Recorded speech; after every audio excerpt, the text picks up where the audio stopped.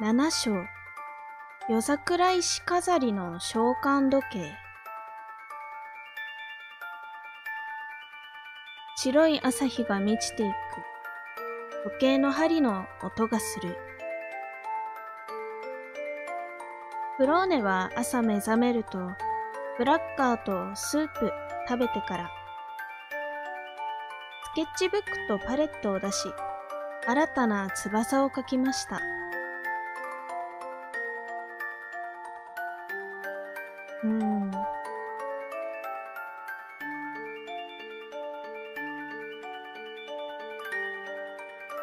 前回はロービート。のロービートは無事だったかな？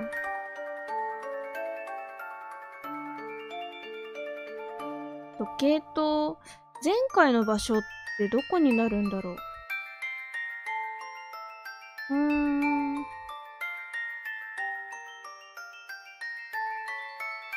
教会中央広場廃墟が？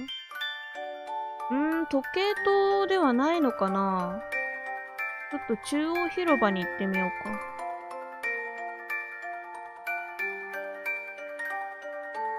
ああ、ペトログラードのお話も同じだね。っていうか、これは、あれだね。そう。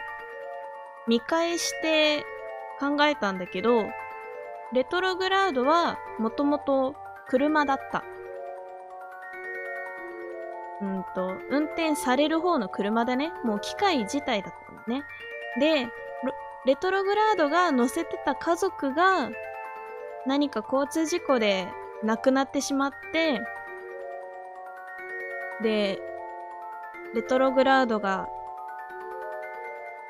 車に乗せてた時に亡くなったんだね、きっとこれはね。それで、うん、思い出して辛いなってなってたんだね。あー、それは辛いな。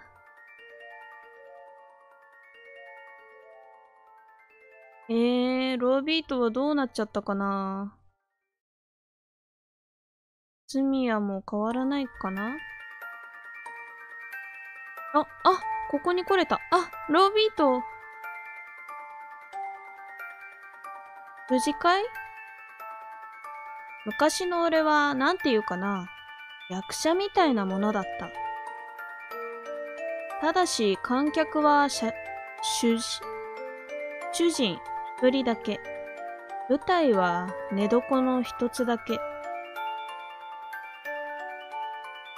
毎晩演じて身を寄せ合って、二人で体を石まみれにして、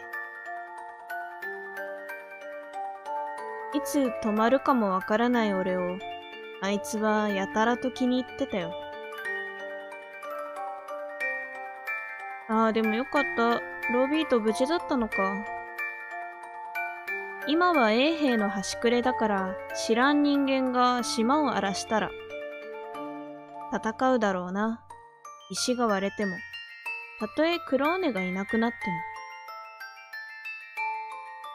永遠に島を守ってるだろうな。そんな顔すんな。幸せなんだぜ。忘れなくていい。守り抜いていい。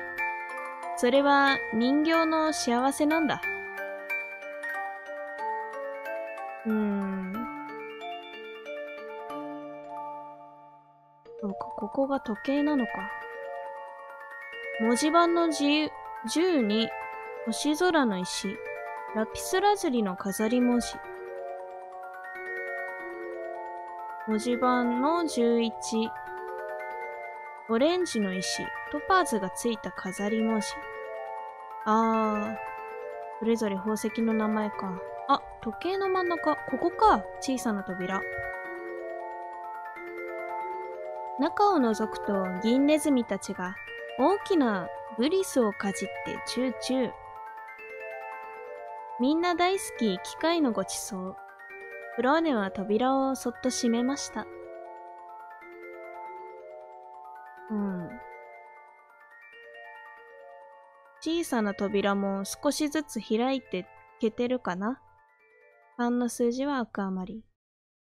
ここには特にアイテムとか落ちてないんだね。珍しい。そうだ？ロービートとお茶できるかな？軽やかな風味、さらりとした味。いい香りだ。これはうまいぞ。お、好評だね。よかったよかった。花束みたいに贅沢な香り。甘ったるいな。クローネは好きか？クローネ好きそうだね。甘いものが好きそうだからね。おー、結構埋まった。あと、1、2、3、4、5、6、7個だ。結構埋まったね。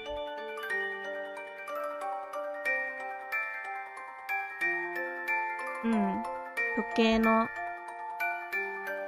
もう一時はどうなるかと、ロービート。よかった、無事で。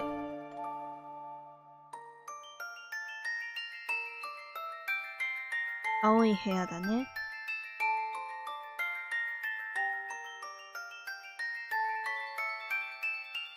うんと、じゃあ、今日は時計店に戻って、お話を進めてみましょう。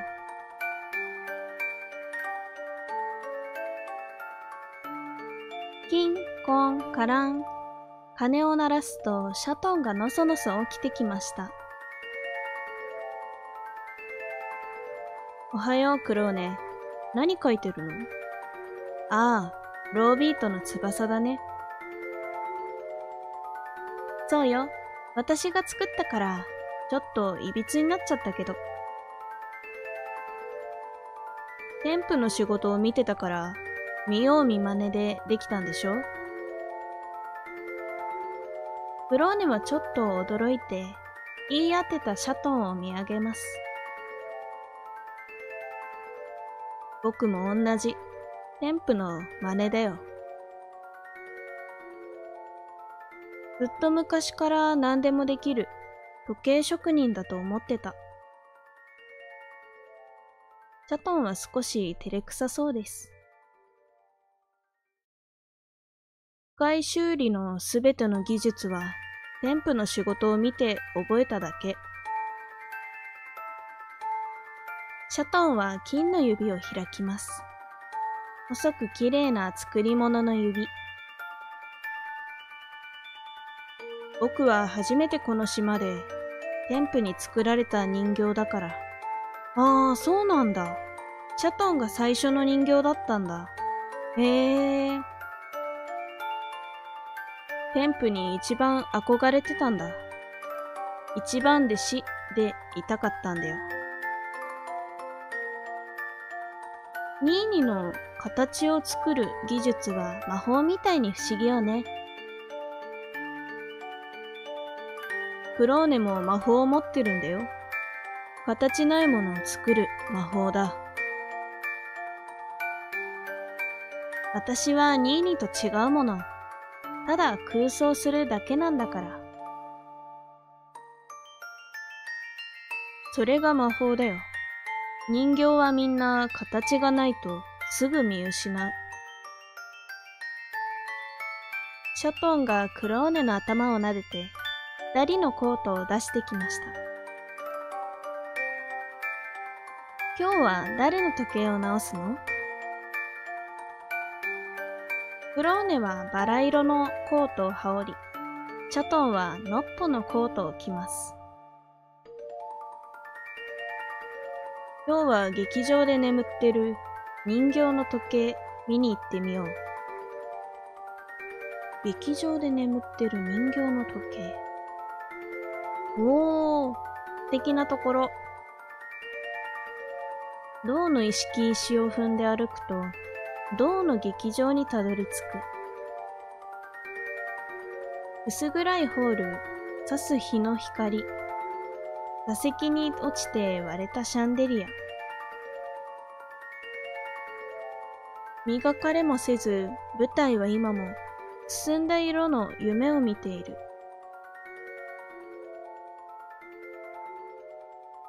寂れた舞台に佇んでいる人形に声をかけました。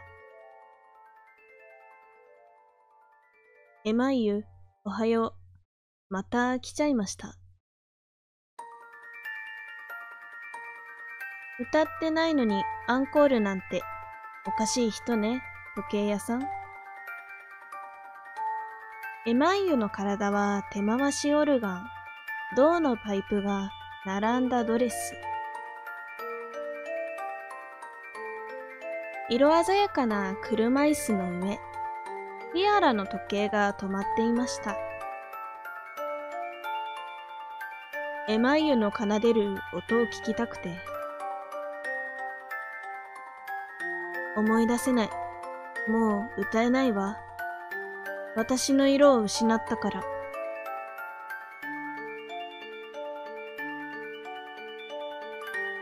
シャトンがエマイユのティアラを受け取り、光の鈍い石を見ました。石の色彩が焦ってきてますね。鈍い赤にも緑にも見える、なんとも不思議な色の石。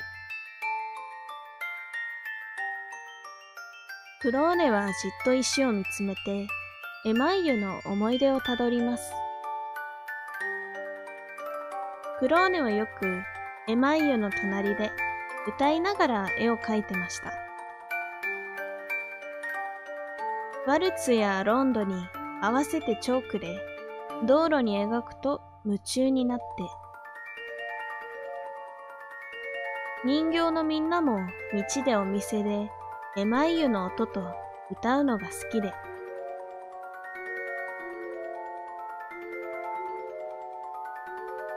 私覚えてるエマイユの石はノクターンは赤ロンドは緑曲ごとに違ういろんな色に。がってとても不思議だったの。そう、この石は音楽に合わせ色を変えていく特別な石。楽譜つないで奏でてみましょう。音色が色を戻すはず、戻すはずです。私の石を戻しても、私は奏でるしかできない。色や音色に形はないの。形ないものに価値なんてある？涙を仕込めたエマイユの声が暗い劇場に響きます。私は覚悟ができている。もうすぐフィーネ、幕を下ろすの。エマイは眠りに落ちました。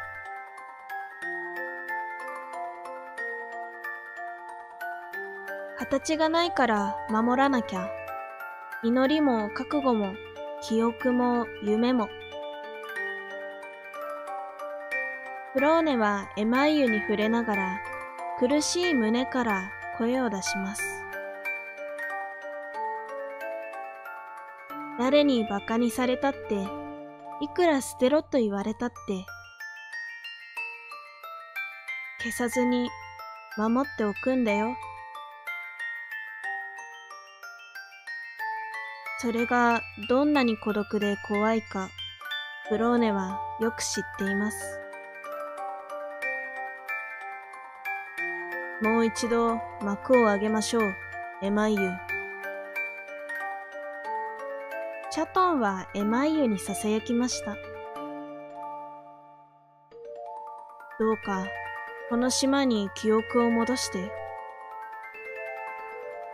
わあ、いろんなプレゼント箱？プレゼント箱？なんだろうね。うーん。記憶を戻して。穴の開いてる赤い紙。紙か？なるほど。穴の開いてる緑の紙。黄色い髪オレンジの髪紫の髪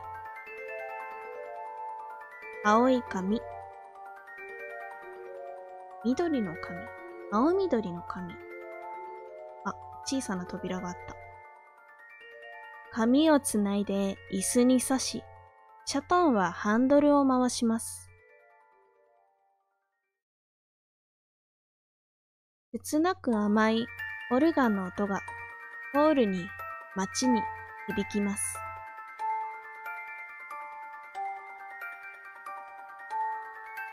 奏でるだけで記憶が涙に溢れて、ダメね、どうしようもない。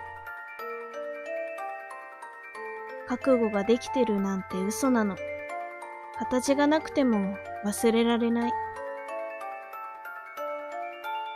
エマイユの石がキラキラ光り、不思議な光に満ちていきます。クローネ、いつか時計は止まるの。いつか最後の一針を打つ。その時、どんなに胸が痛くても、今のことを後悔しないクローネの目には石と同じ不思議な光が揺れていました。ずっと切なくて構わない。忘れる方がずっと悲しい。後悔しないよ。絶対に。シャトンはそっと微笑んで、ティアラをエマイユの頭に乗せます。エマイユの奏でる切ない音で時計の針が刻み出す。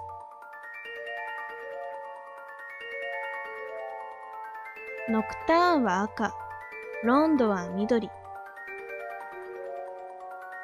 リズムに合わせて音色が巡る。胸を締め付けるあた甘い痛みは忘れたくない形ないもの